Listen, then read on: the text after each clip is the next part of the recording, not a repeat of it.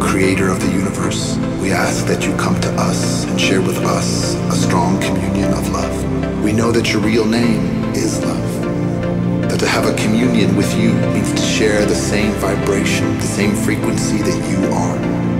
Because you are the only thing that exists in the universe. Today, help us to be like you are, to love life,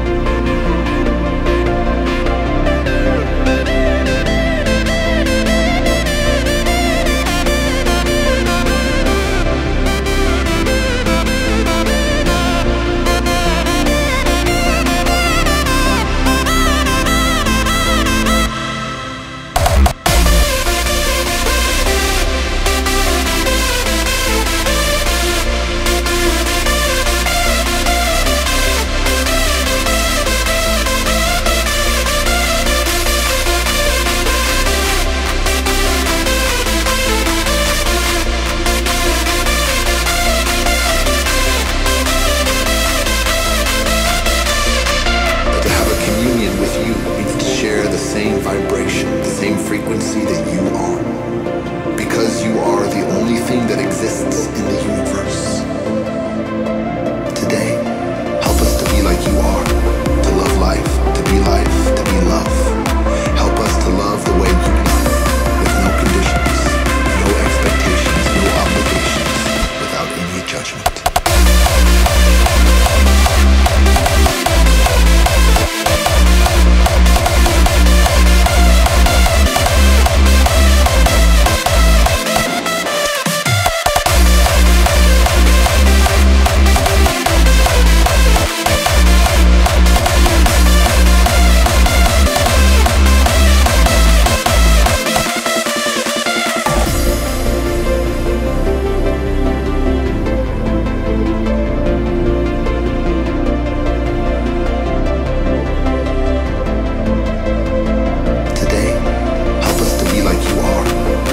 life.